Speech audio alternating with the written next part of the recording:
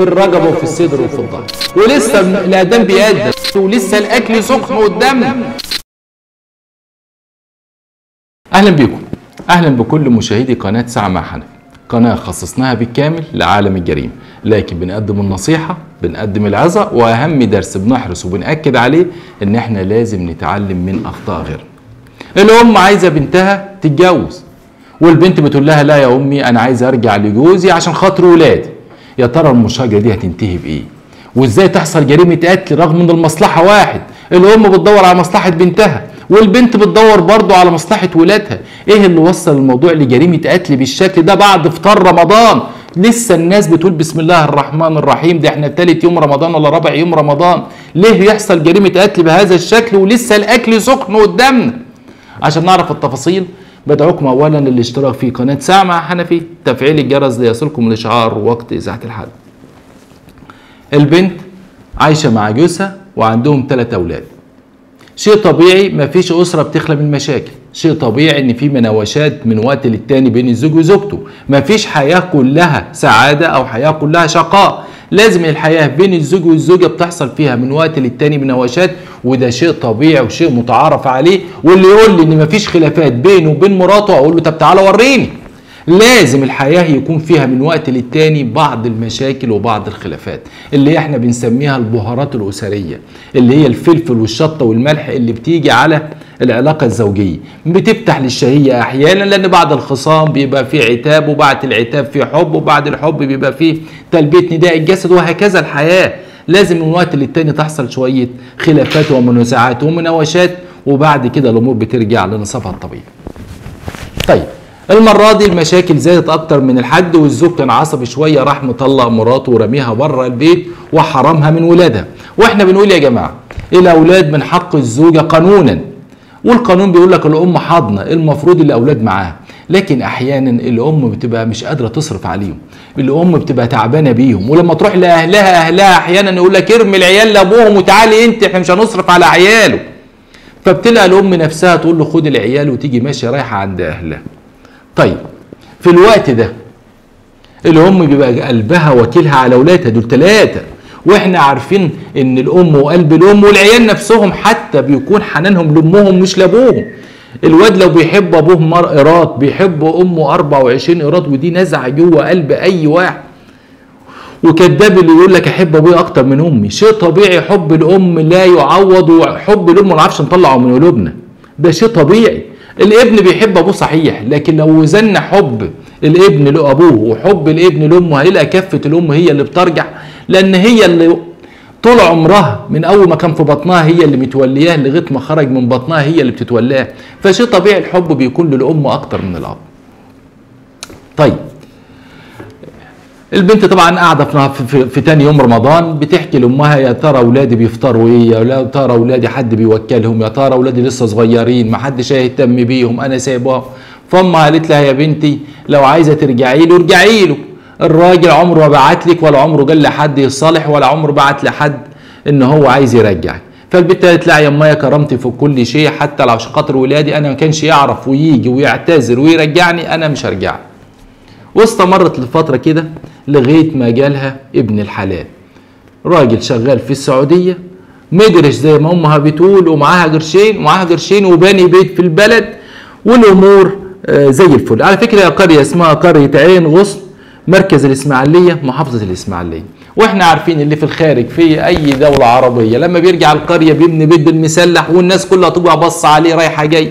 ولا كانه بنى قصر عبدي ما يعرفوش إنه شقى وتعب ومر وان كل قرش بنى بيه البيت جاي بمرار ومش جاي بسهوله المهم طبعا أمها فرحت وقالت يا بنتي آخر الصبر خير أهو جالك عريس وهو كده هيرجع التاني وهيعبيت أحسن من البيت بتاع جوزك الأولاني وهيهنيكي ومش هيطالبنا بقرش ولا تعريف فهو مجهز بيته من الألف للصاروخ وأمها كانت فرحانة. الزوج الأول أول ما عرف إن في واحد جاي من الخارج وعايز ياخد مراته ابتدى يقول لك لا أنا أولى بيه. ولادي مين اللي هربهم لي؟ طب يا عم أنت كنت من الأول شايفها وهي هناك ما رجعتلهاش غير لما لقيت في واحد عايز ياخدها. في الوقت ده راح بعت ناس وقال أنا هرجعها عشان خاطر العيال. الأم هنا محتارة بين الشاب اللي جاي ياخد بنتها وباني بيت ومحترم جدا وبين جوزها الأولاني اللي بعت عايز يرجعها عشان خاطر ولاده. فالأم قعدت مع بنتها. فالبنت قالت يا مايا أنا عارفة إن ال- الواد التاني أحسن وعنده بيت أحسن لكن أنا عايز أرجع لاولادي حتى لو جوزي التاني الأولاني وحش أنا هصبر عشان خاطر ولادي. أنا اتعلمت الدرس وعمري ما هزعل له تاني عشان خاطر العيال. الأم قالت لها لا. انت هتروح للي بيذلك انت هيروح للي بتضربك انت هي- هتروح للي هي- اللي على طول منكد عليكي بقى تسيبي واحد بني لك بيت على جراتين ثلاثة وترجع لجوزك اللي هيقعدك مع أمه وأبوه في البيت ومر وضرب وهنات. البنت صممت بتقول لها يا مايا أنا الفكرة كلها ولادي أنا مش عايز أرجع له عشان ولادي ده هو بيضربني وبيهني وبيذلني وبيكسرني. وأبوه وأمه بيذلوني وبيهنوني وبخدمهم من الصبح لغاية ما بنام لغاية ما بتهد لكن أنا راجع مش عشان خاطرهم أنا راجع عشان خاطر ولادي الام قالت لها لا. مش هترجع ليه أنت هتتجوزي. اللي جالك واللي شريكي واللي هيعرف قيمتك. والشاب ده الراجل ده بيحبك وعايزك من زمان ومعاه فلوس هياخدك ويعزك. واستمرت المشاكل بين البنت وأمها يوم واتنين لغاية ما حصلت أول أمس. البنت قاعدة مع أمها والأكل لسه سخن على السفرة وقاعدين مع بعضيهم. والأم بتقول لها خلاص أنا هبعت للراجل يجي عشان نحدد ميعاد كتب كتاب. قالت لها لا يا ماي أنا هبعت لجوزي يجي أو طليقي يرجعني عشان خاطر العيال. امها قالت لها أنت عاملة زي الكلبه اللي يرميكي بطوبة تجري عليه. أنت لو بتحترمي نفسك وعندك كرامة البنت قالت لها عندي كرامة. يا ما قالت لها أنت لو عندك كرامة ما كنتش رحت له يا كلبه يا كذا يا كذا. البنت صعبت عليها نفسها وأمها مش نازلة. طب طب. طبعا الأم هنا عايزة مصلحة بنتها يعني خلينا برضو واقعيين. الام عايزة مصلحة بنتها الام عايزة واحد يصوم بنتها ما يضربهاش ما يهنهاش ما يذلهاش هو وأبوه وأمه. كلهم قاعدين يذلوا فيها وهي عايزة ترجع له مش عشان حاجة هي عايزة ترجع له عشان خاطر ولاده عشان خاطر ولادها. وفي نفس الوقت الأم نفسها عايزة بنتها تتستت في بيت حلو جميل الناس كلها هتحسدها عليه إنها قاعدة فيه. فلما تلقى وجهات النظر تلقى وجهة نظر الأم سليمة ووجهة نظر البنت سليم البنت عايزة ترجع عشان خاطر ولادها.